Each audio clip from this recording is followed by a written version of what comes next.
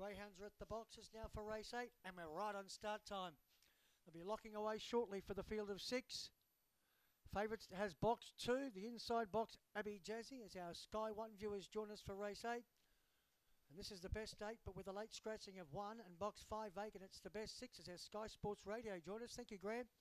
Abby Jazzy, $2.70 fixed price with tab for that man Merv Page, who's had three winners thus far. He's looking for four winners. He's also got Walloon Moon in the race. The lure rolls, we're set to go.